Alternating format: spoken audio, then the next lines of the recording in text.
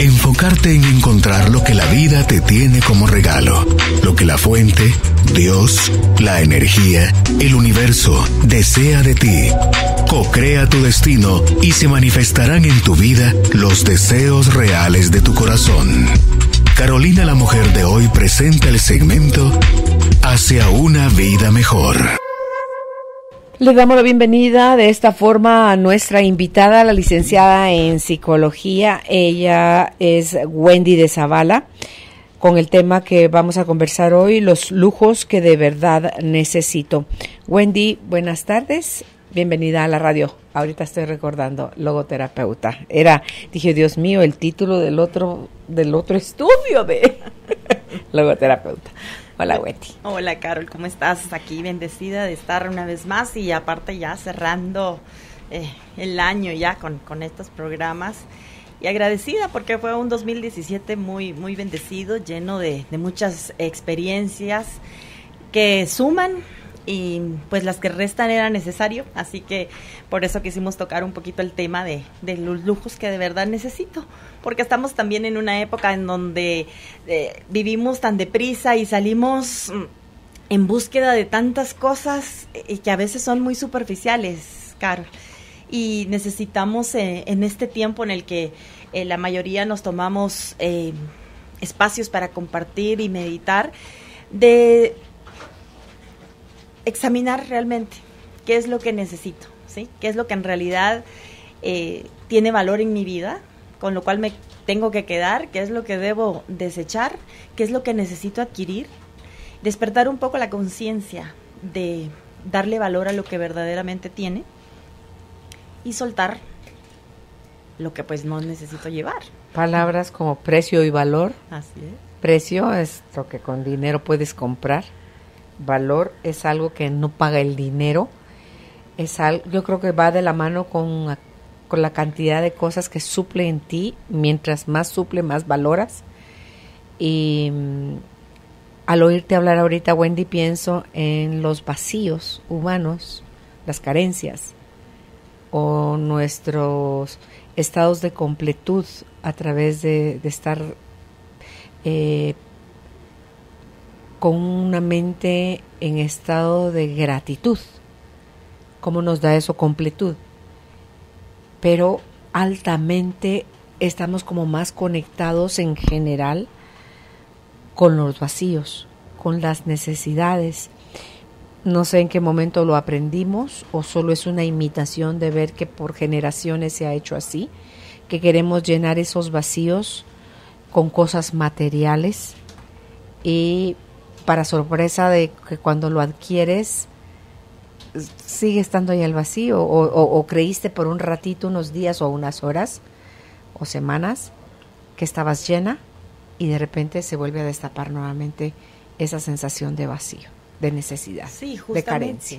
Esa parte momentánea, esos, esos instantes que a veces lo, lo, hice una comparación dentro del contenido con el, con el oropel, ¿verdad? Que es como la imitación más aproximada para, el oro. Que realmente si tú lo ves, eh, pareciera que es oro, pero en realidad no es, tiene poco valor y me impactó mucho la descripción porque dice poco valor, pero de gran apariencia.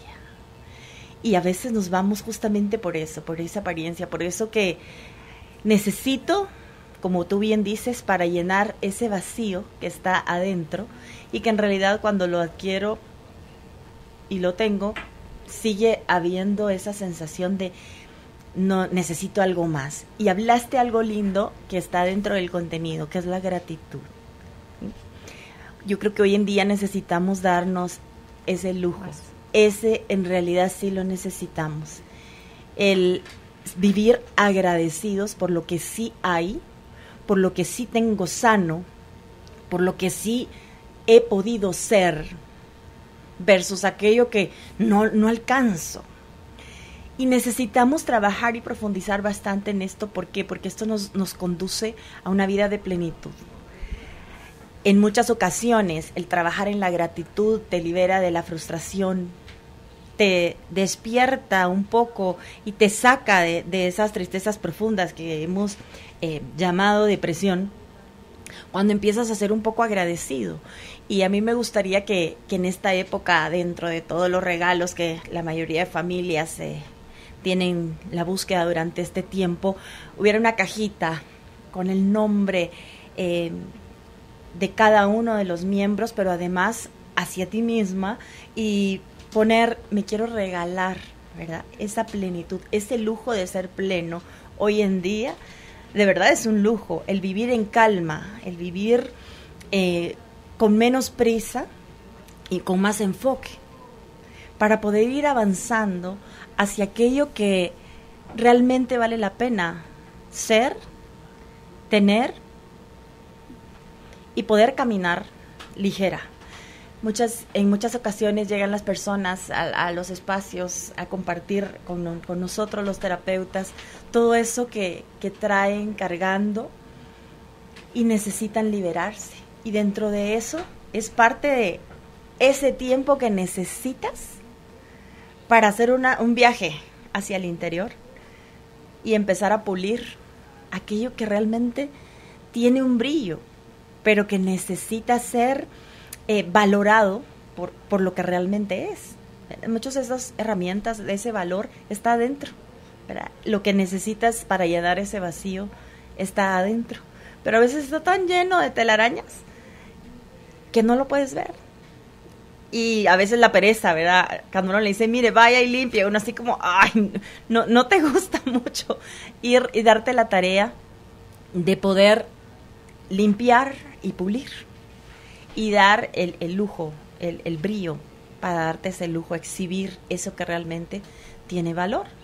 Es que el, afuera también hay brillo y ese, eh, ¿cómo se llama? Te encandila.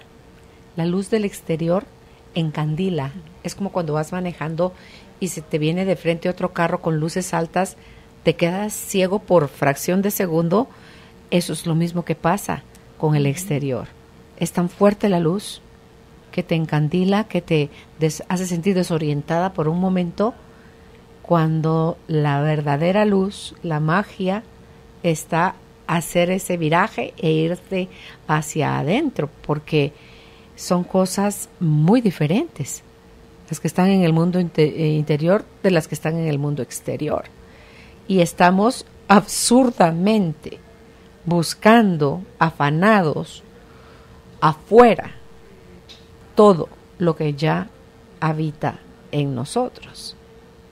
Sí, así es. En esa, en esa búsqueda hacia afuera, como tú bien dices, ya está adentro. En algunas ocasiones durante los programas compartía yo la, anécdota de la, de la ancianita que era costurera y había perdido su aguja.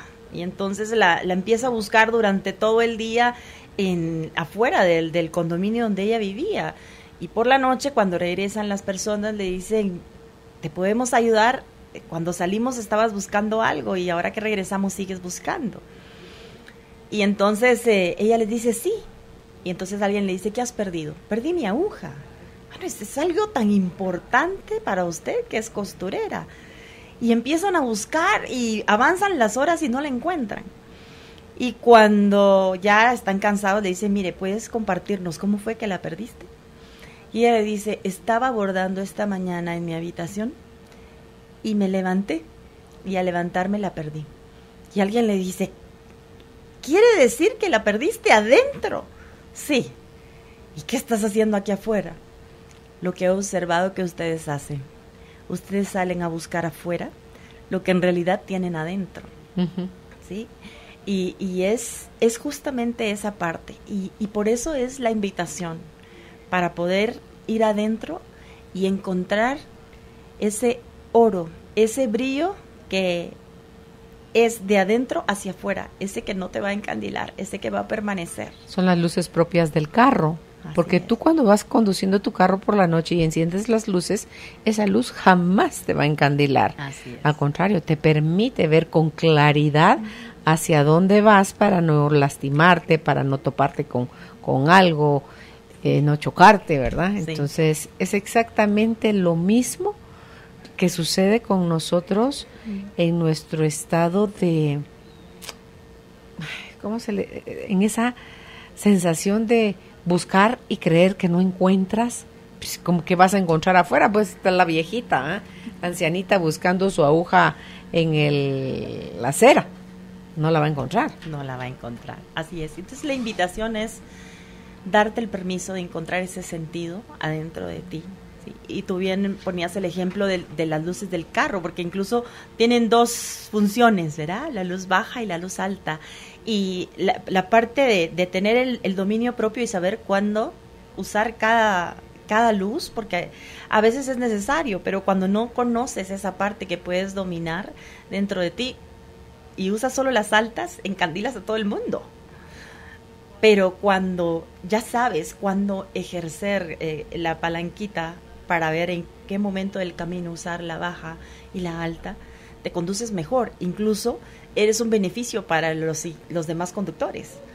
Porque a veces, eh, no sé si te ha pasado, Carol, que vamos y se nos va, que llevamos luz alta y el otro me tiene que avisar que, que, por favor la baje. O al revés, yo le aviso al otro que, que la baje. Y me, me, me gusta mucho ese ejemplo, porque al final el carro es nuestra vida. Y es ahí llevamos todo. Es, eres tú, que es donde te conduces. Sí. Y ahí, y ahí ese nos, nos guía a, la ruta, al camino. Y creo que es, es bueno, ahora que estamos sellando y que la mayoría de personas hace también sus objetivos para el siguiente año, saber cómo está ese carro. ¿Cuánto necesito invertir en, en mi vida? En tiempo, en energía, porque también dejamos el tiempo y la energía, valga la redundancia, en muchas cosas que queremos obtener, de esas que encandilan, que realmente no valen la pena. Y pierdes tus días, tu vida. Ha sido un año muy significativo para mí, Carol, en donde la vida nos ha marcado las estaciones y nos ha recordado que tenemos fecha de caducidad. Y es cuando más tenemos que despertar la conciencia para recuperar eso que hemos perdido. Lejos de invertir en algo que se va a quedar, invirtamos en algo que voy a dejar como legado, pero en trascendencia. Y en eso que me quiero llevar y diciendo gracias a la vida.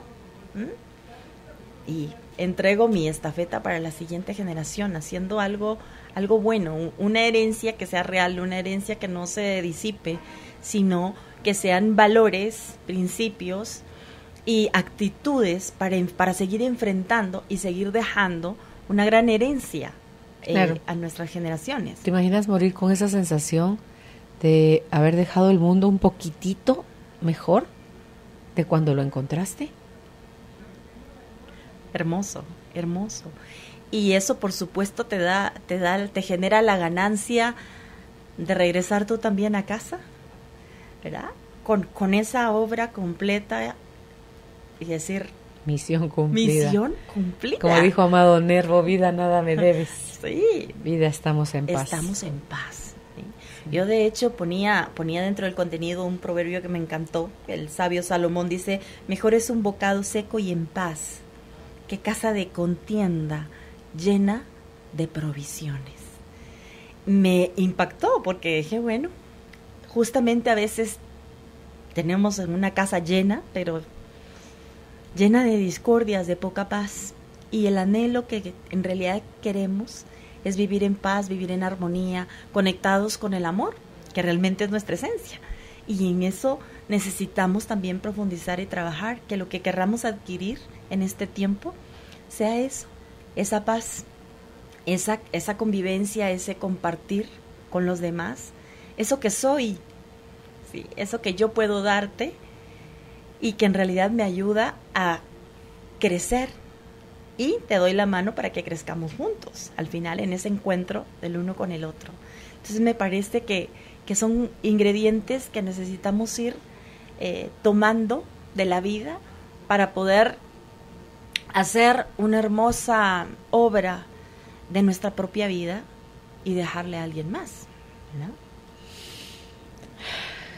Los hijos, los hijos, a los lujos que de verdad necesito. La gratitud, no es un lujo, creo yo, es un...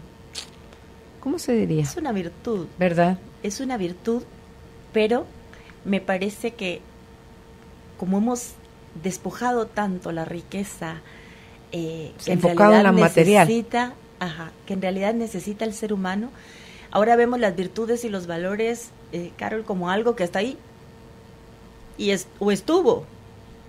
Y en realidad, en medio de lo que vivimos, le hemos pasado ese valor tan rico que tiene la virtud o el valor a algo que no lo tiene. Entonces, por eso te decía, es, es un es algo que necesito regalarme hoy. Yo a veces eh, tengo en, en, clínica pacientes que empiezas tú a observar eh, la queja, la frustración y empiezas a, a ver cuánta cosa lleva ya en su corazón que se ha vuelto amargura. Y escudriñas un poco su vida y empiezas a darte cuenta que lo que está sucediendo es que no ha encendido la virtud de la gratitud. Y ahí es donde entonces le puedes poner el nombre de usted necesita darse ese lujo porque tú haces su evaluación y dice, mire, es que tengo esto, tengo el otro. Y, y, te empieza a hablar de todo lo externo y lo material que ha logrado tener, pero no logra conectarse con o no logra agradecerse él mismo o ella misma por lo que ha hecho. Y entonces solo nos toca como afinar un poquito y decirle, vamos a trabajar en la gratitud. Y hacemos algunos ejercicios de gratitud y ellos se llevan sus tareas. Y es impresionante cuando son diligentes y empiezan a agregarle valor a esa virtud. ¿Cómo vienen en las siguientes sesiones en un despertar diferente? incluso algunos que no están acostumbrados a eh, poder compartir con otros vienen y dicen, mire, pude ser capaz, ni siquiera se trata de cosas materiales, pude ser capaz de conectarme con mi mamá, de conectarme con mi papá, irles a decir gracias, porque fíjese que me di cuenta que no tendría esto si no hubiera sido por aquel momento. Y es impresionante cuando descubren esas huellas de sentido en su vida, que solo es de conectarlas con la gratitud. Entonces, para mí, creo que sí es algo que es como un lujo en este en esta generación, en este tiempo que vivimos, porque eh, trabajamos muy poco en el agradecimiento. Y algo que creo que es subir un poquito un grado o una grada más arriba en, en la línea de la gratitud, Wendy, es dar gracias por todo ¿Qué es lo que normalmente hacemos cuando son de las primeras cosas que le enseñan a uno cuando es niño? Por favor y, gracias. Que son palabras mágicas que abren puertas. Por favor y gracias. Pero el enfoque de las gracias que hemos aprendido es hacia lo bueno, hacia lo que nos gusta. No aprendimos de niños a decir gracias ante un problema gracias ante una crisis, gracias ante un fracaso, ante un tropiezo, ante una enfermedad, ahí no damos las gracias. Ahí te dicen, ponte en oración, pídele a Dios. Como que tú no fueses responsable de eso que estás clamando al cielo, tú eres responsable. Así es. Entonces, si el gracias lo vamos a usar como un lujo, usémoslo completo. Claro. Para aquellas cosas que no me están gustando, gracias. Por todo esto que no comprendo, gracias. Por todo este dolor que creo no merecer, gracias. Por toda esta incertidumbre, gracias. Porque tengo la oportunidad de servirte yo a ti. gracias. No, yo sirvo para ti, hago algo por ti, para ti, y espero, así hasta me frizz para ver que me digas gracias. Y hay de mí que yo no te diga gracias porque pasa, porque todas esas cosas suceden como en automático, Wendy. Qué mal agradecido, qué mal agradecida, o qué aquí, qué allá. O sea, saltan todas las etiquetas. Entonces, cuando nos enojamos, porque es algo muy común, que nos enojemos cuando no nos dan las gracias, porque en realidad estamos buscando reconocimiento, porque de gracias hay gracias. Claro. Eh, si yo estoy buscando en un hacer reconocimiento, voy a estrellar mi nariz contra la pared o mis dientes contra el piso cuando no me valoren, no me reconozcan, no me vean, o sea, cuando no me validen, yo voy a tronar. Entonces, ¿por qué no me van a dar gracias? Así es. Y es que llegar a ese, a ese nivel arriba de, de ese escalón que tú bien decías, es justamente la plenitud, porque hay que dar gracias justamente por todo, ¿sí? ¿Por qué? Porque cuando hablas en la perspectiva de es que hay gente que quiere que le den las gracias. Ahí estamos cayendo en la parte de la, de la soberbia, ¿verdad? En, la, en el que se enaltece. Y entonces entramos también a otro lujo que, que para mí es importante, que es la humildad. ¿Mm? Esa parte, tú tocaste el por favor y el gracias. Y me encanta porque si hacemos una, una comparación, el por favor es parte de la humildad. Es pedirte algo en humildad. es respetar, es respetarte. por eso no, te atropello. exacto, exacto. Te pido te reconozco. claro. Yo te reconozco. Entonces yo creo que sí es muy importante. Y cuando llegas a ese usar completo el lujo de la de la gratitud, sí es cuando entonces logras dar gracias en todo tiempo, donde puedes descubrir esos grandes maestros de que traen las adversidades a la vida de nosotros, que realmente lo que nos están haciendo es una invitación para crecer, para trabajar dentro de nosotros. Y de verdad, la vida se lleva más fácil cuando aprendes a dar gracias en medio de aquello que no pediste, pero que llegó, en medio de aquello que quizás elegiste mal y que tiene consecuencias, ¿sí? o en medio de aquello que simplemente era parte de lo que, estaba. sí. Porque uno no puede prever las cosas, güey. Exacto, porque sí está la parte de las decisiones que tomas.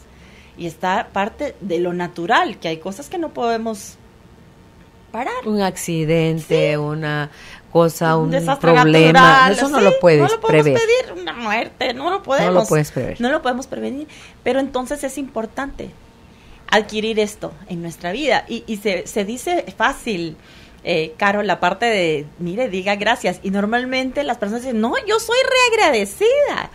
Cuando te viene el test. conviene. Sí, cuando viene el test de la vida, en aquello que no está en tu control, ahí entonces. salta la Ahí entonces tienes que ver si de verdad eres agradecido o no. Y entonces ahí es donde empiezan los conflictos y esos disturbios internos en el que yo no merecía esto, porque a mí, etcétera, etcétera, etcétera. Pero si despertamos un poco nuestra conciencia. El gracias en general, porque todos nosotros lo tenemos con símbolos, lo positivo y lo negativo, en esta dualidad. El gracias en el aspecto negativo en cuando estoy en crisis, en problema, en enfermedad, en bancarrota, en lo que sea, eh, me desarrolla, creo yo, la humildad fácil, porque me hace de alguna forma reconocer mi pequeñez ante algo superior a mí, que es quien sí tiene control de todo. Así es. Entonces puedo hay varias cosas que pueden suceder ahí. Puedo buscar ayuda, sea que es terapéutica, médica, familiar, económica, espiritual, eh, una amistad, o sea, puedo pedir ayuda. Pero si no estamos en el estado de gracia, estamos en el estado de soberbia, decías hace un rato. Y allí nos gana la arrogancia y el orgullo.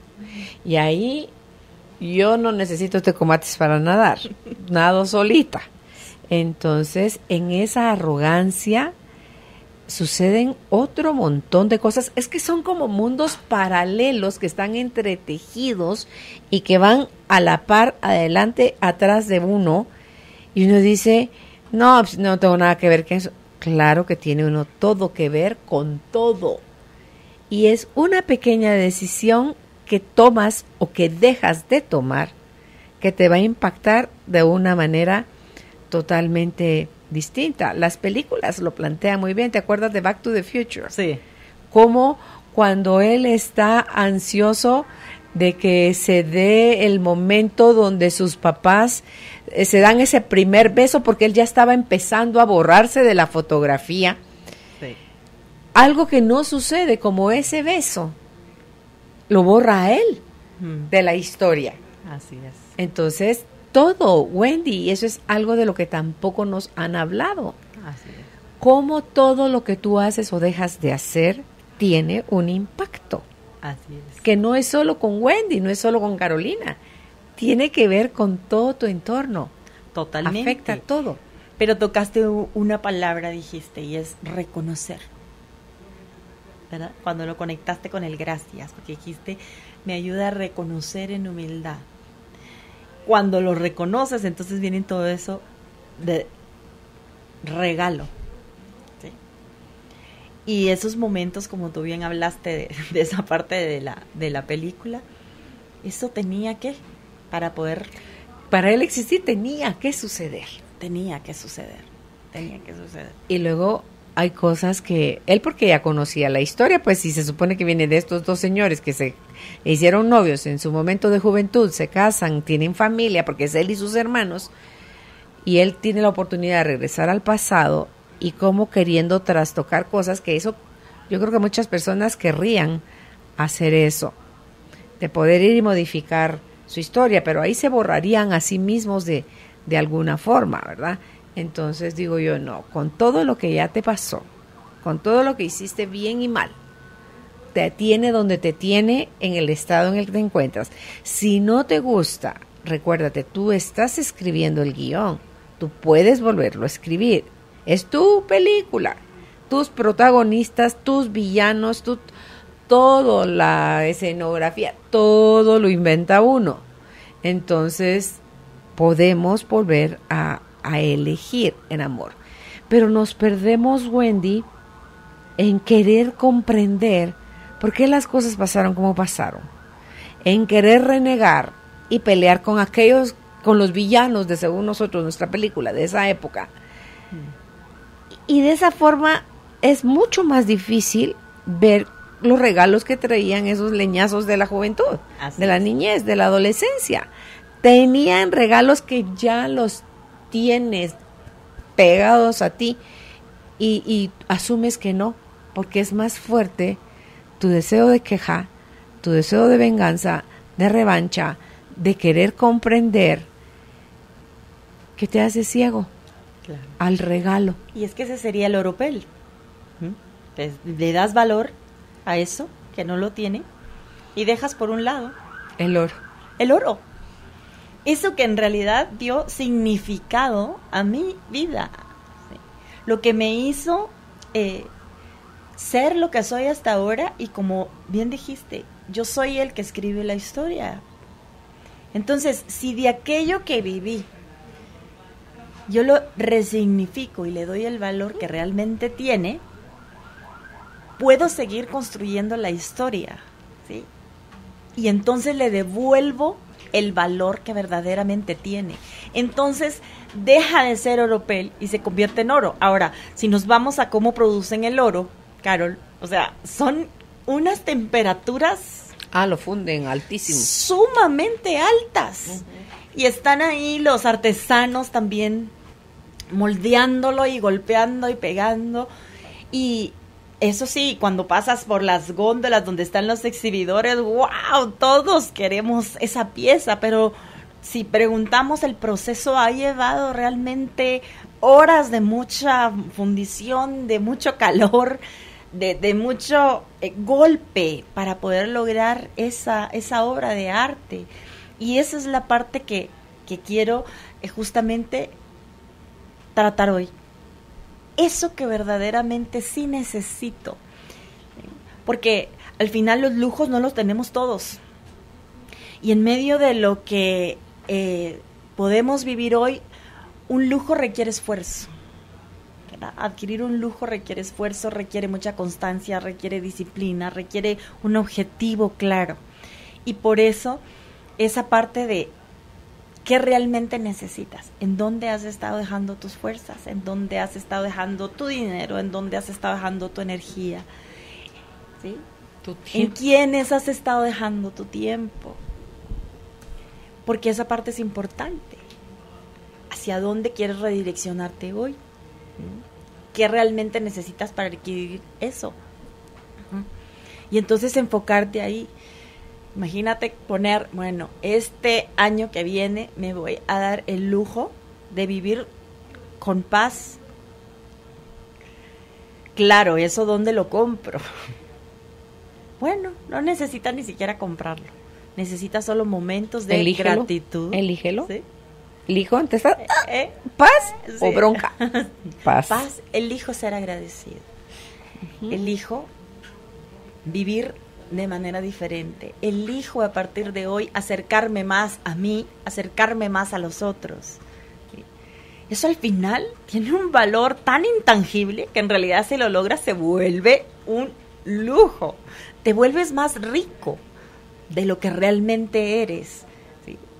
Te enfocas en la dirección correcta, en, en esa riqueza que es invaluable y que se puede exhibir y que todo el mundo puede ver y todo el mundo va a querer tener eso que tú tienes.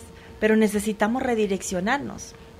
Pasa mucho y es muy común que cuando lleva los grandes regalos a los niños, los niños paran jugando con la caja, no con realidad lo que ha costado el, el no sé, utensilio, el regalo que les han llevado.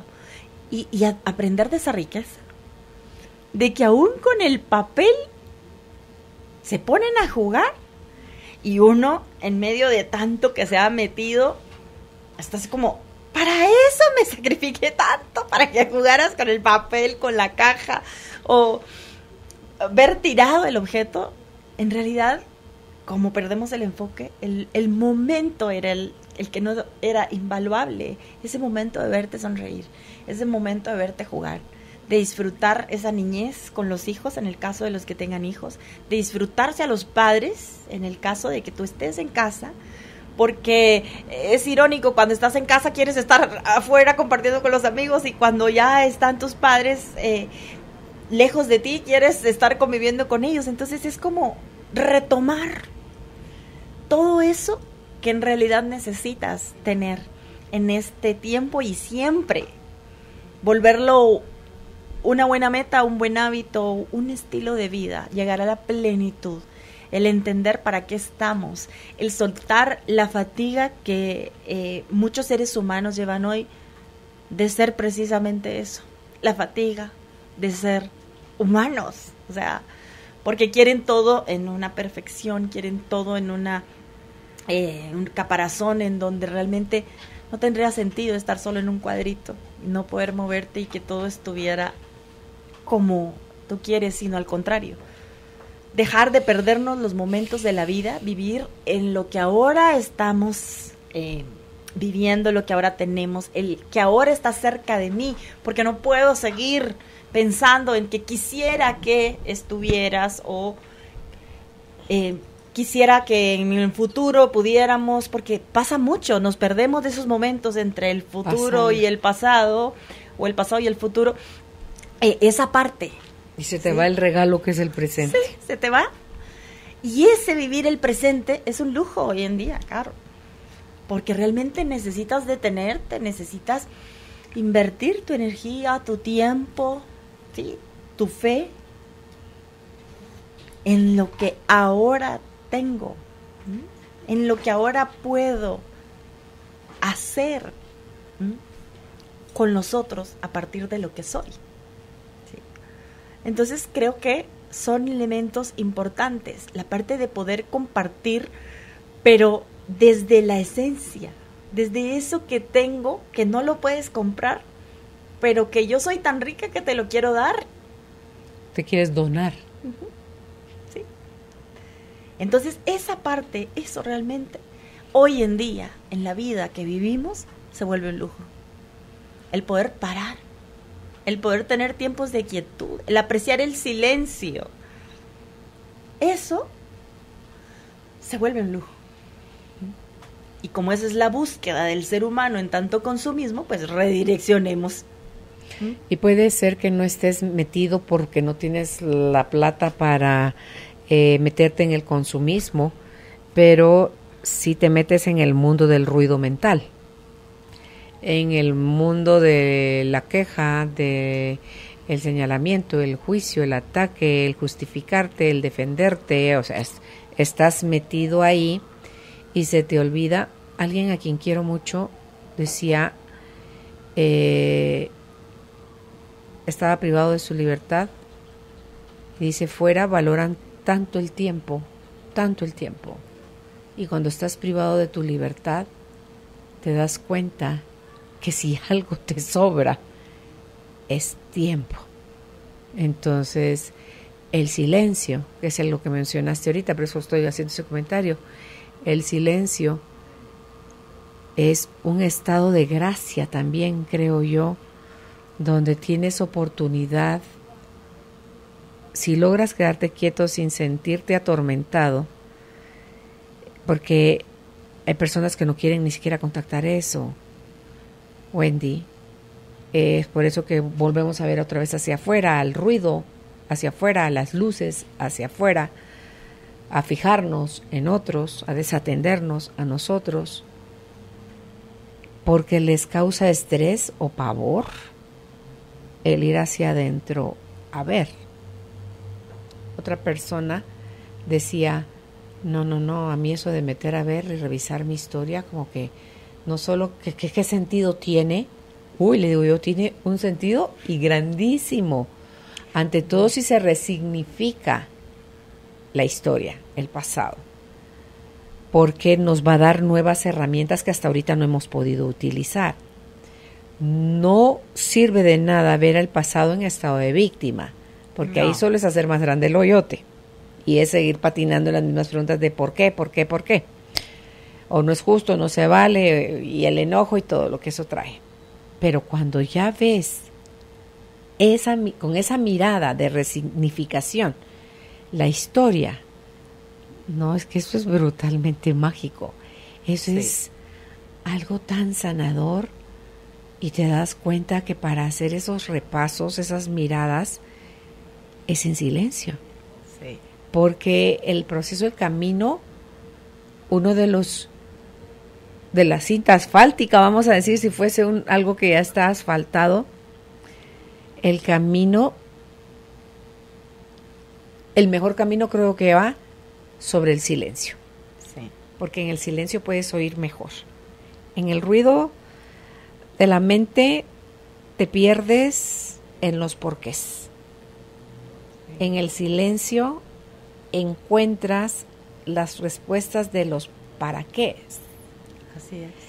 Vivimos, dice mi coach, vivimos en un mundo sumergidos, en un mundo de respuestas. Estamos todo el tiempo anhelando respuestas en una simple conversación que te está contando tu amiga que si fue, que si le dijo, que si y ya está metiéndole la respuesta. Y dice Liliana Torela, que es mi coach, dice en el, la escucha reverencial, tú puedes ser capaz de muchas cosas, me dijo nada yo así como que me soy la madre de la curiosidad, le digo como, como cuáles. a ver, anticípamelas. No, estas las tienes que encontrar tú. Ay, Dios mío, dije, bueno, a buscarlas, ¿verdad? De alguna forma ella tenía un poquito de temor, por lo parlanchina que yo soy, de cómo me iba a ir en una escucha reverencial, porque es total silencio. Es atiende en total presencia la conversación de la otra persona sin ni se te asome por ninguna parte que tienes que dar una opinión, dar una respuesta, un juicio, nada. Así, neutro presente, amorosamente presente. Cuando terminamos la actividad, Eso me lo dijo ella, ponle que me lo dijo lunes. El martes tenemos una actividad general y en la noche le digo yo, wow. De verdad, wow. Porque en ese silencio de no tener, yo sabía que no iba a opinar, en ningún momento iba yo a levantar mi mano, no iba a cuestionar ni a comentar, nada, nada. Quietecita. Sí, mira. Entonces me relajé, me acomodé, veía a una persona, veía a la otra, decía, qué interesante. Entonces ves todos los regalos, Wendy, que tiene la escucha reverencial. Puedes conocer partes de la persona a la que estás escuchando que no le conocías. Como no estás metiendo juicio, tú dices, wow, si esa persona habla, se conmueve y llora, yo lloraba a la par de esa persona. Era como que si un el batitubo de mi corazón salía conectado al corazón de la otra persona full, así. Entonces para mí eso fue conmovedor profundamente. Primer gran regalo. En la escucha reverencial es te conectas en inmediato, de inmediato, al corazón de los demás. Dos, te das cuenta brutalmente cuántas rayitas le bajas a tu juicio. A tu yo opino, yo creo, yo siento, yo a nadie le importa si eso solo de uno, pero bien que lo andamos emitiendo todo el tiempo. Y digo yo, entonces te das cuenta cómo el ruido de la loca de la casa, que es la mente, del ego, se baja de 10 a 1. Y entonces como hay menos ruido, hay mucho más silencio y como estás en estado de presencia y además estás en conexión con el corazón de la otra persona, ah, no, es que eso a mí me tiene de una pieza. Sí. Y en realidad, ahí está tu riqueza, en descubrir esos tesoros que estaban adentro y que solo necesitabas quietud y reposo y ahí hayas. Hija de mi vida, pero puedo estar en quietud y reposo y con el ruido de la loca a la cabeza. Es, déjate tú, lo primero que te quieta en el cuerpo. Lo segundo, cállate la boca. Lo tercero, atiende tu mente y date cuenta todo el ruido que tiene. Lo cuarto es, déjalo, déjalo que rebote como mono loco saltando de un bejuco a otro en la, en la jungla. Déjalo, él es así feliz. Pues, cuando vea que nadie le está poniendo atención, se, va, va, va, a decir este qué chiste andar saltando de Leandra en Leandra, si, si de Leana en Leana si nadie me pone atención. Así es. Y entonces te empiezas a dar cuenta cómo se conecta el corazón con los demás, tu corazón.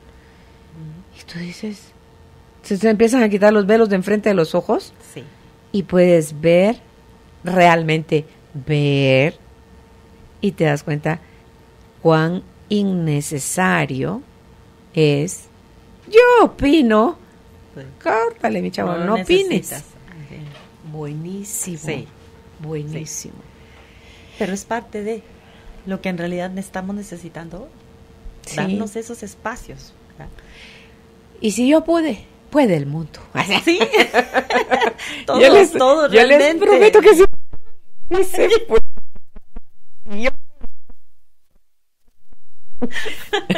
no, eh, sí, realmente eso es un regalo. Es un regalo eh, aprender todo esto y como llevarlo como parte de ese nuevo equipaje para la vida, para vivir conectados, para vivir en esa verdadera humanidad que es estar para el otro. Estás para ti para empezar. Te tienes a ti. Claro, y después estás para el otro. Por supuesto, pero lo logras a partir de de estar contigo, tú contigo. Y eso solo te lo da la presencia, Totalmente. Totalmente. Pero si andamos con el cuerpito aquí y la mente pensando en las muelas del gallo, difícilmente que te tengas tú para ti. Así es. Cuanto menos tú para alguien más. Entonces ahí es donde se genera ese vacío inmenso que es como un pozo sin fondo un pozo ciego que no tiene fondo y tú estás más, no tengo que hacer más, tengo que tener más, tengo que... Y no pagas y no pagas. pero sea bien engatusados que estamos, porque ese es como un, como una tómbola, vamos a decir, o un, una bola gigantesca donde estamos metidos y a menos que tú digas, eh, eh, con permisito, y te bajes. De allí, te arrastra. Te arrastran las costumbres, las tradiciones, los se supones, los deberías, los... Estás en sintonía con lo que los demás esperan de ti y ahí no puedes tenerte a ti. Totalmente. Vamos a hacer una pausa. Estamos conversando con nuestra invitada, licenciada en psicología, es logoterapeuta también, Wendy de Zavala, los lujos que de verdad necesito. Ese es el tema de hoy. Comentarios, bienvenidos. Tenemos contenido para compartir.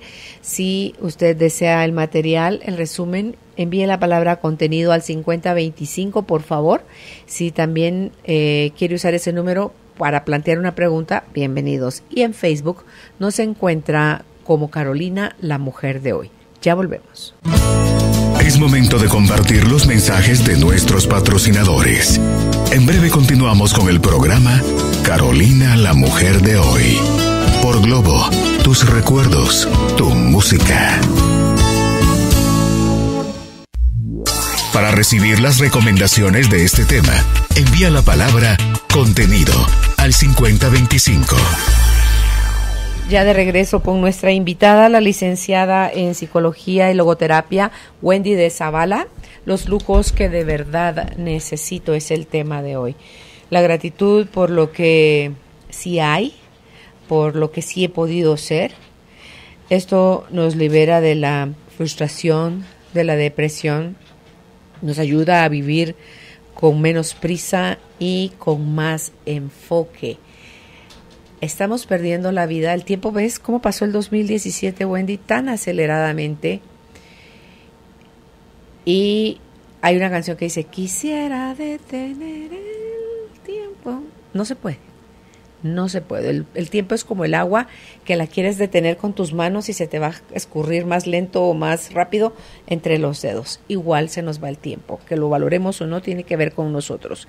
Y vivir la vida con más enfoque creo que es la sal y la pimienta que estamos necesitando o las hierbitas para que cobre un nuevo sabor, un nuevo sentido, para que el 2018 sea mucho mejor que el 2017.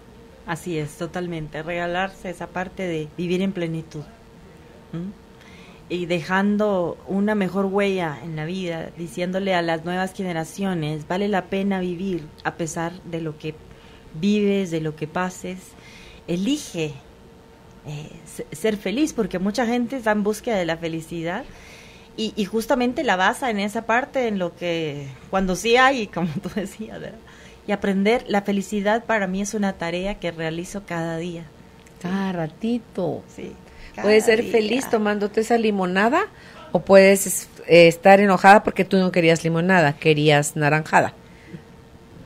Por cosas tan simples como esa o cosas mucho más serias, tú eliges cómo reaccionar, tu estado de ánimo es el que te pone en desgracia o en felicidad. Así es, así es. Entonces es importante trabajar en aprender a elegir. Eh, pensemos más positivamente, eliminemos todo aquello que, está siendo tóxico desde nuestros pensamientos para poder ir haciendo cambios de, manera distinta. reflejemos eso por cada cosa negativa que piense, diríjase hacia cinco positivas. Y entonces vaya renovando. La mente es como un jardín. ¿verdad? Y necesitamos ir podando toda aquella maleza que realmente no necesitamos para ver florecer esa parte escudriñar también nuestro, nuestro corazón y soltar todo aquello que, que no necesito llevar, eh, resignificar que fue parte también de lo que, de lo que hablamos, darle valor a nuestros logros, Carol, desde el más pequeño, porque a veces estamos esperando los grandes logros cuando que me quizás gradúe, no cuando me case, cuando pague mi deuda. Pero lo que en realidad logré hacer hoy, lo que sí pude controlar hoy, lo que sí me dediqué con amor esta mañana, en este momento, porque son cosas que no hacemos, no valoramos nuestros logros. Muchas veces estamos valorando el logro de los demás y no nos valoramos a nosotros mismos. O apoyando a otros a alcanzar sus sueños. Y estamos dándole la espalda a nuestros sueños. Y le damos la espalda a nuestros sueños. Y ahí necesitamos trabajar en, despertar, en llegar a esa realización desde lo pequeño que sí soy, desde lo pequeño que sí logro, desde lo pequeño que sí podré realizar. Y eso me va a llevar a los grandes logros. Todas esas sumas de pequeños, pequeños, pequeños te llevan a la grandeza. Te llevan a la grandeza. Y cuando llegues a la grandeza, no perder ¿verdad? La pequeñez otra eh, vez. La pequeñez. Que te da la humildad. Exactamente. Entonces, ver toda esa parte, aprender a llevar esto dentro de mi equipaje interno para poder viajar por la vida de una manera más ligera, más conectada, más consciente, más feliz, más, plena, además. Aprender a disfrutar del, paisaje, del panorama, a veces hay, hay situaciones que de repente dicen, no, mire, donde hay tal cosa, yo así como, ¿dónde? no me he fijado, he pasado tan rápido. Entonces ir como, como más despacio en, en nuestra caminar, en nuestro caminar. ¿sí? Eh, decía también aquella que canción y también es, es, un poema que luego le pusieron letra de caminante, ¿verdad? Se hace camino al andar, ¿sí? Eh, la parte de la quietud que también hablamos como parte de, del silencio, regalarnos esos espacios que son tan necesarios y nos llenan de riqueza. Tratemos de, de adquirir riqueza para el alma, ¿sí? no solo para lo que está afuera. Regalémonos bienestar dentro de las cosas que eh, necesitemos poner y llevar para seguir caminando en esta transitoriedad de, de, vida realmente. Decía Madre Teresa, aunque creo que la frase pertenece a alguien más, ahorita se me va a quién, porque sí se la de alguien más, que es mucho antes de Madre Teresa. Eh, cuando comas avena, come avena. O sea, porque está en inglés, when, when you eat potridge, eat potridge. O sea, una cosa a la vez. Si ahorita estás desayunando, o estás que es hora de almuerzo, estás almorzando, siéntate a eso. Pon tu mantelito, date tu tiempo, disfruta, atiéndete. No, que estás sola en tu casa y comes de pie a la carrera, metes algo en una tortilla y te lo comes o lo metes al carro y mientras vas manejando vas comiendo. No, eso es dispersión y eso es a lo que se refieren.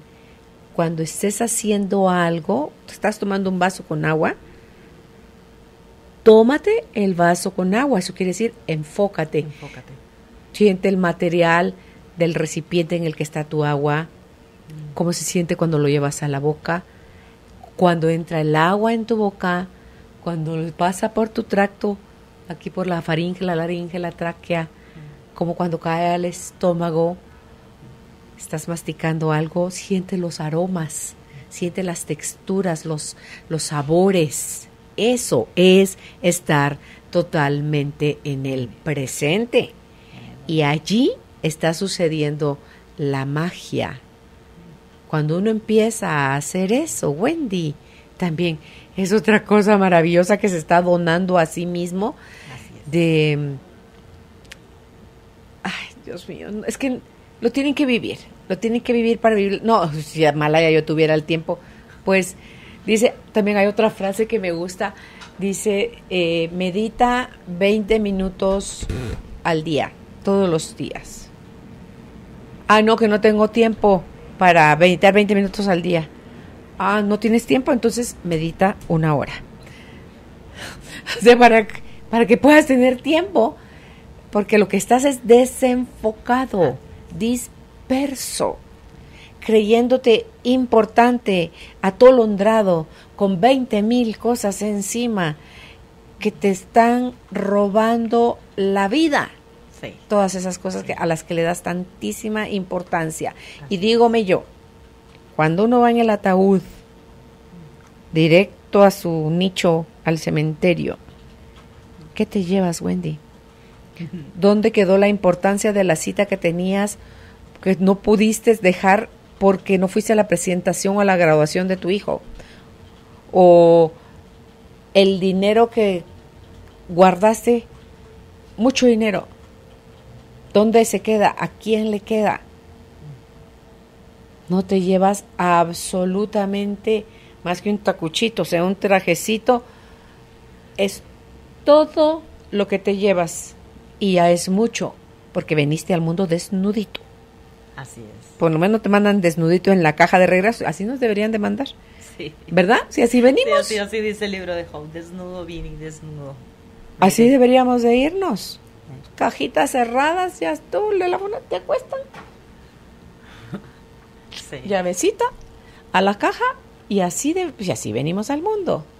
Entonces, todo lo que tuviste oportunidad de enfrentarte a, de conocer, de disfrutar, de hacer, de compartir, eso te lo vas a llevar completito. Claro, claro. Y vas a dejar en la memoria de los que se quedan un recuerdo inolvidable, maravilloso.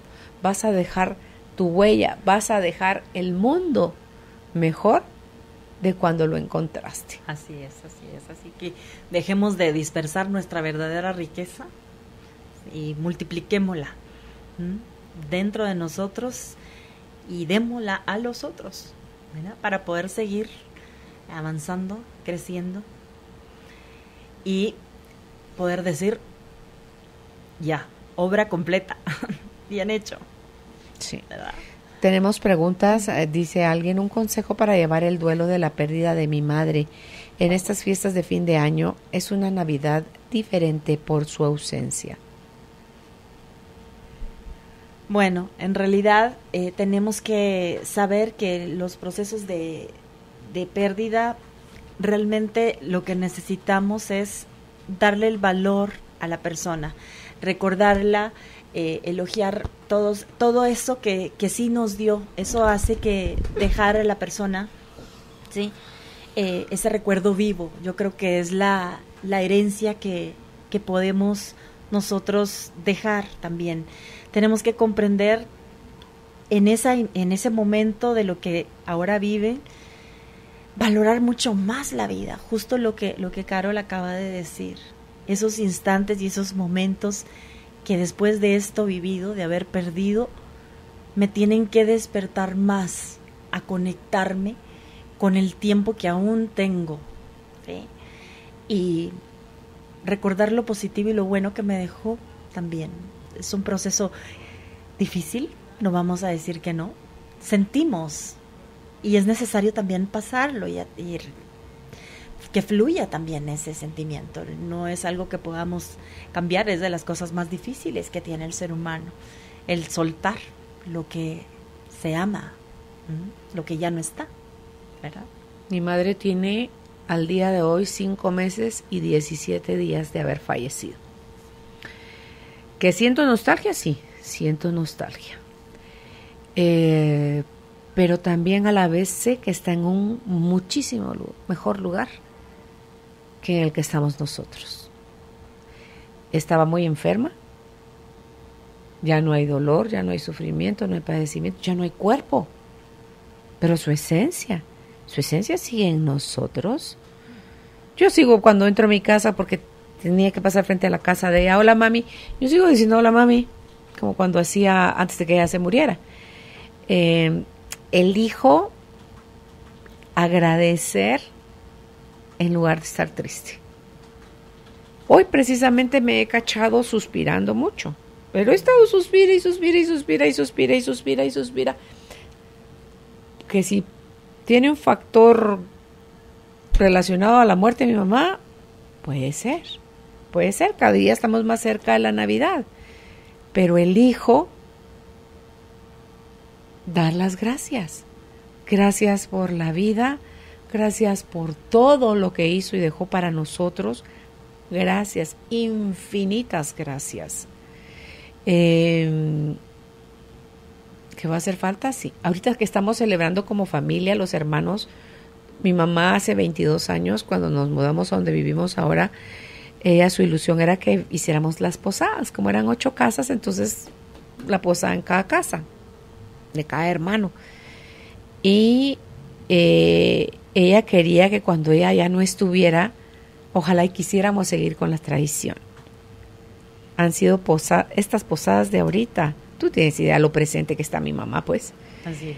Entonces, lo viva que ella está, no está físicamente, no, no lo vamos a negar, pero está viva en nuestro corazón, en nuestra mente, en nuestras acciones, en nuestro sentir, en nuestro todo. Entonces, esa es mi invitación a que usted haga algo parecido porque me pasa exactamente, solo que usted está eligiendo estar triste. Preservar el legado, ¿verdad? Preservar su esencia. Yo he comprado, no comprobado, que el efecto gratitud es sumamente sanador. Yo lo practiqué con la reciente partida de mi papi, logrando poco a poco el soltarlo y dejarlo ir, agradeciéndole el tiempo que estuvo con nosotros y los momentos y recuerdos maravillosos que perduran en nuestro corazón. Qué lindo. Justamente está validando lo que acabamos de decir, ¿no? Dar gracias. Buenas tardes, bendiciones. Gracias por esos programas. Durante todo el año me han ayudado en mi vida personal. ¿Cómo puedo sanar mis heridas de inseguridad? Siento que amo y que no soy correspondida de la misma forma. Me duele muchísimo y vienen tantas preguntas a mi mente y no le encuentro la respuesta. Lloro y quisiera ya no sentirme así. ¿Qué pasos debo seguir? Gracias por su ayuda. Bendiciones. Yo creo que eh, es importante trabajar en, en tu realización interior, en poner en orden todo lo que en realidad está dentro de ti, porque si tú estás dando algo y no estás eh, siendo eh, correspondida y eso te está generando frustración, tendrías que tomarte el tiempo para evaluar si realmente eh, quieres elegir seguir en un lugar donde no te sientes amada. Luego, también cuando trabajas en tu realización interior vas a poder comprender que para que alguien más pueda valorar el amor hacia mí, debo amarme primero yo. No puedo ir en búsqueda de algo o pedirle algo a alguien que no primeramente me doy yo. Porque tenemos que comprender que en la vida en pareja se da, se da mucho esas creencias cerradas en que el otro es el que tiene que hacerme feliz, el otro es el que tiene que darme, si el otro hace, entonces yo tenemos que comprender que, que nosotros tenemos que estar primero plenos, llenos, eh, sentirnos amados, y luego entonces puedo yo ir al encuentro con, alguien más, porque entonces voy a poder identificar realmente si debo de estar en este lugar o no. Sí, eh, no ser correspondida, eh, ¿cómo es que dice ahí? Eh, no soy correspondida de la misma forma. Primer gran error. Si yo amo en azul, y el otro me quiere amar en Corinto, ¿cómo le hacemos? Voy a sentir que eso no, Corinto no, azul, amame azul. Pero ¿por qué si son dos personas diferentes? Tenemos que amarnos en el mismo, de la misma forma. Los lenguajes, los cinco lenguajes del amor es un libro que a lo mejor puede ayudarle eh, a identificar, por un lado, por otro, cuando hacemos en este mundo de preguntas que vivimos, atendemos a hacer las preguntas correctas. Eso es lo que pasa con el por qué y cómo es posible y con... Ah, ah, ah, o sea, todas las preguntas necias nos llevan a, a encontrarle no sentido, porque ella no le encuentra, como dice sentido, y no le encuentro respuesta. Y lloro porque ya no quisiera sentirme así. Controladoras nos dicen. yo porque yo era de ese bando. De veras. Controladoras que nos dicen. Entonces, no, no, no es así. ¿Para qué pregunto? Mejor contéstese cosas como, ¿para qué usted insiste en quedarse al lado de alguien que es obvio, usted no se está sintiendo amada? ¿Para qué?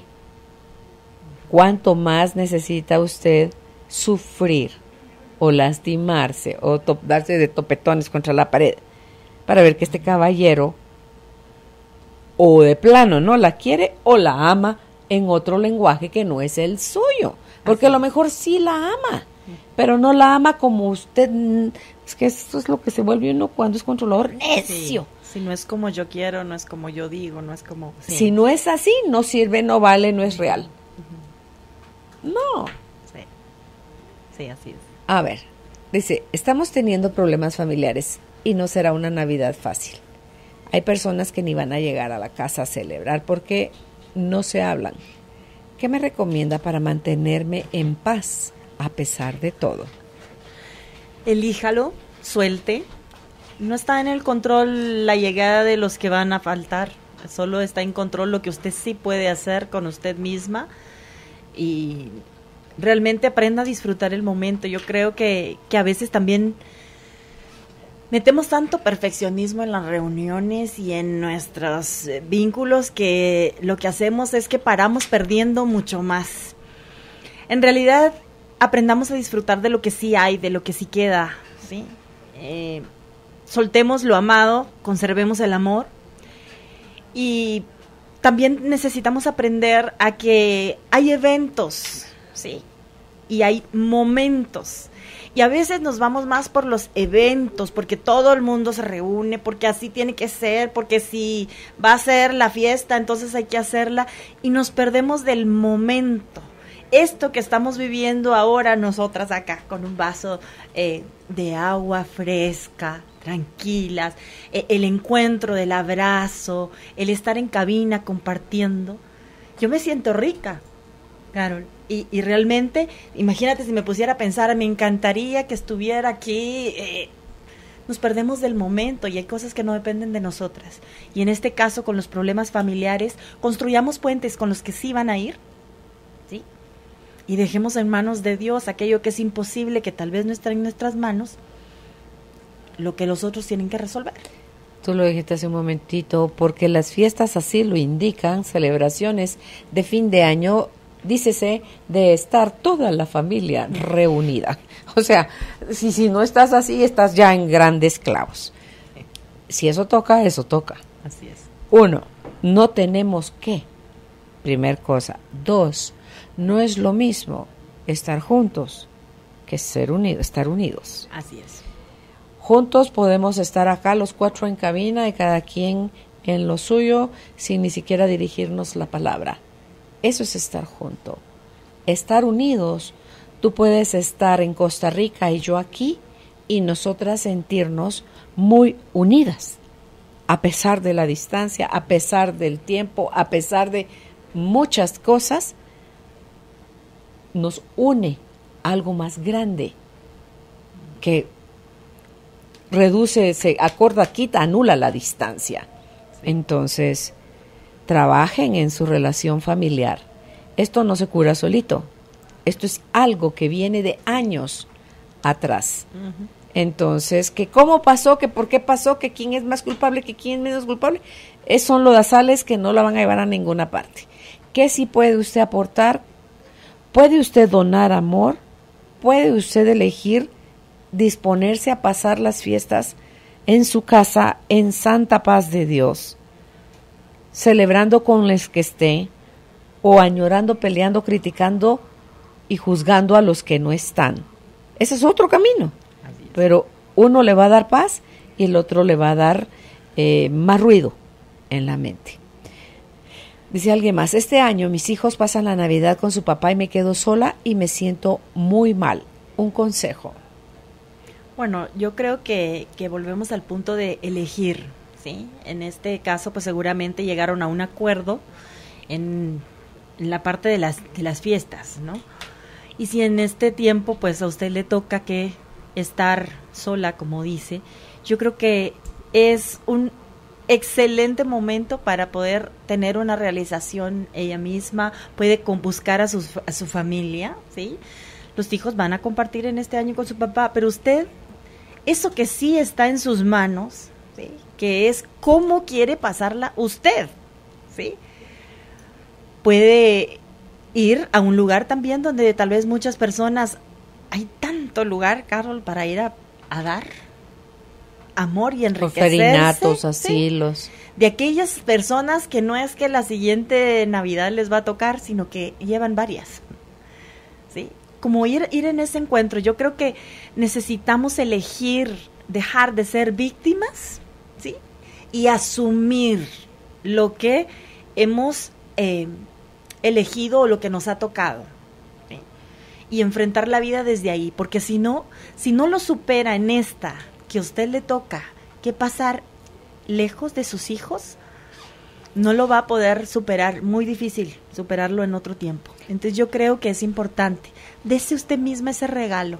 Cuando sus hijos crezcan, van a pasarlo lejos de usted también, así, que empieces a entrenar, dijo el otro hora. Entonces, eh, tú le dijiste, si usted tiene papás, vaya y comparta, con sus papás. Tiene hermanos, si no con todos, con alguno de ellos, primos, otras amigas que están en la misma situación que usted está, prepárese una cena rica, celébrela usted con usted, ponga su mantelito, ponga su vela, atiéndase, trátese como ciudadana de primera categoría, puede ver una película, puede leer un libro, puede acostarse a dormir en santa paz, pero todo va a ser su decisión o bien se enrosca, se, se pone en la cama, acostada de lado, a chiar como María Magdalena y a decir que, que solita, que mejor es también una elección, pero la que está decidiendo es usted.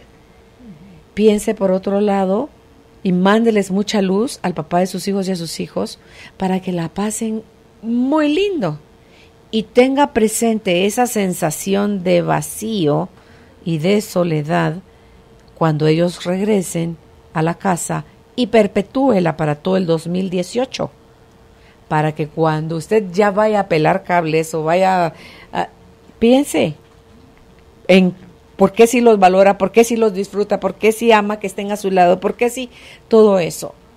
Entonces, haga un recuento, hay, hay mil cosas para hacer, pero para eso tiene que tenerse usted a usted misma.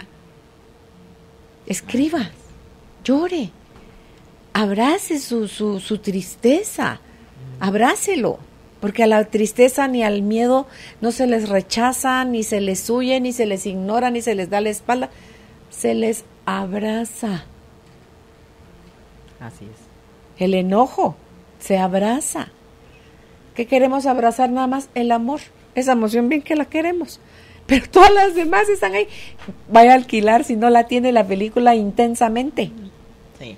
Y vea, ahí están las emociones muy lindamente representadas en esa película de caricaturas. Eh, todas son parte nuestra. Todas. tienen un rol. Elija ser feliz.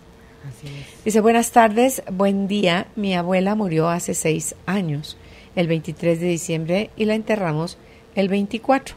Desde entonces no celebramos la Navidad. Yo ya lo superé, pero mi mami no, y entre más se acerca la fecha, más se amarga y cambia su humor y busca la manera de pelear al grado que yo igual me siento enojada y triste. Soy hija única, también me enfada el maltrato que le da a mi tío discapacitado. Quisiera no estar allí, pero tampoco la quiero dejar sola. ¿Qué puedo hacer? Además, estoy copiando su mal humor y no me gusta y me siento muy mal. Bueno, tenemos que comprender que eh, definitivamente no ha eh, llevado un proceso para el manejo del duelo, su mami, y que usamos muchas veces el enojo como la máscara de la tristeza y el dolor. Cuando más eh, eh, se acerca la fecha, expresa ella, más eh, empieza su mamá a manifestar esas sensaciones.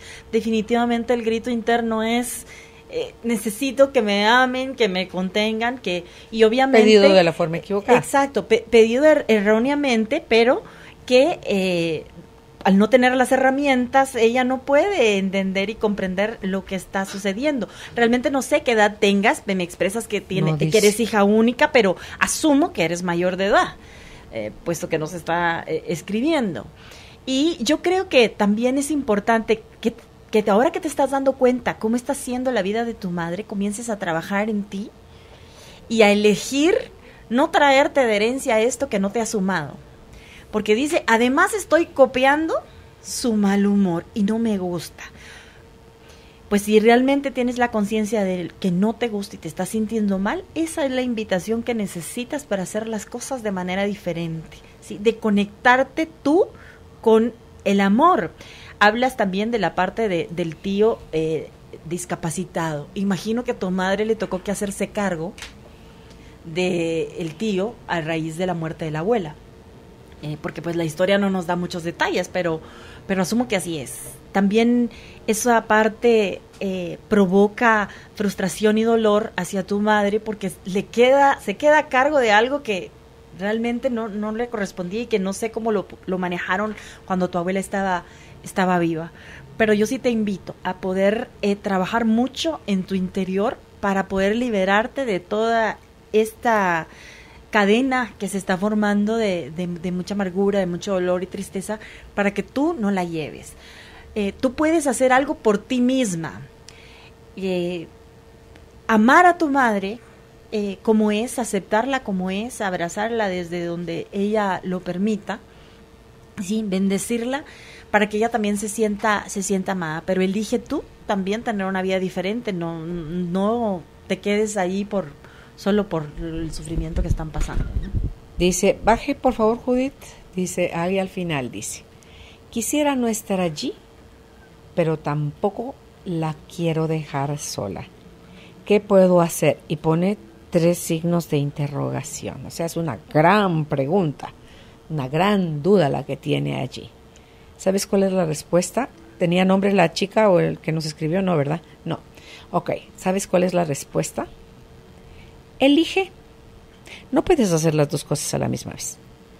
O te quedas o te vas. Pero las dos cosas no las puedes hacer. Si te quedas enojada, mal. Si te vas a pasarla a otro lado en paz sintiendo culpa, mal. La que sea que elijas, cualquiera de las dos cosas que elijas, has de hacerlo, por favor, en paz. Porque tú te trasladas el infierno, lo que llevas dentro es esa sensación de, ¡ah! Estoy entre la espada y la pared, ¿qué hago? Va contigo. Ella te lo está tomando, además de, la madre. Si te vas con culpa, te vas a ir a pasar de la patada, tan de la patada como quedarte no queriendo estar allí. Entonces, elige, elige. ¿Cómo aliviar el resentimiento? Y aprende, aprende de qué es lo que pasa cuando no se supera un duelo, cuando no se procesa la pérdida de un ser querido, lo vas a prolongar hasta que algo, qué sé yo, elijas diferente. Que ya tiene seis años tu abuelita de muerta y tu mamá está igual de mal, como que se acabara de morir. Así es. Entonces, aprende del dolor de tu madre.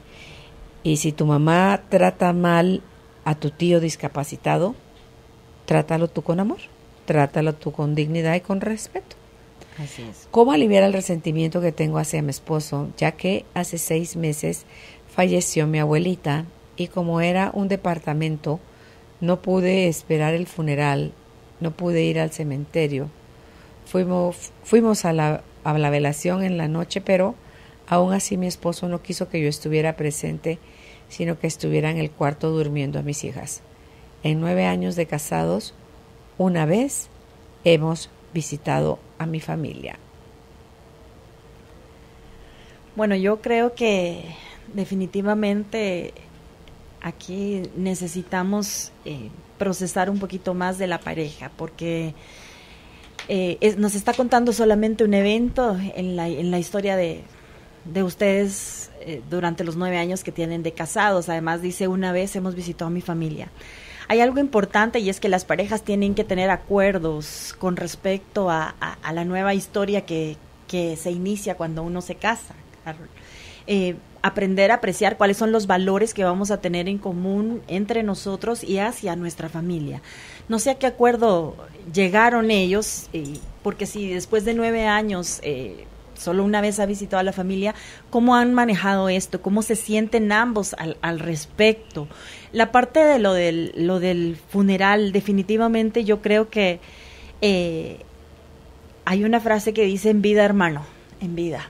Y, y pues obviamente son momentos en los que uno quisiera como, como estar en todo, pero creo que en este momento eh, debes de, si tú quieres continuar, eh, eliges vivir con tu, tu, esposo de esta manera, tienes que aprender a, perdonar y entrar en un diálogo, aprender a, llegar a acuerdos y hacerle saber desde el me siento de esta forma, qué significa para ti eh, esto que, que tú estás viviendo, porque si tú no lo solventas en esta oportunidad que se está dando este proceso, vas a vivir así y van a venir otros eventos eh, similares en donde si no encuentras una ruta en este momento para solventar y llegar a un acuerdo con tu esposo y hacerle saber cómo te sientes, eh, van a, llevar mucho más eh, adversidades que va a ser un poco complejo no, no resolver.